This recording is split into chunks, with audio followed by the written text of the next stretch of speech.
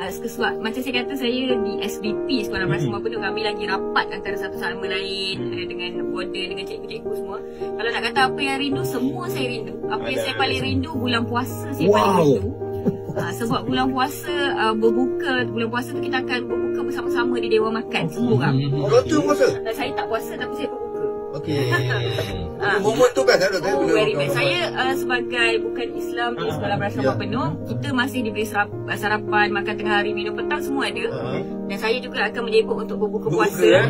semua sekali. Uh, so kita makanan tu dah ambil, dah duduk dekat situ dengan tray kita dengan air kita tunggu azan ni. Lepas azan tu semua akan minum air, kita boleh dengar semua teguk air sama-sama. Tu makan kurma. Jadi kita akan makan kurma, biji kurma tu kita akan baling atas tray.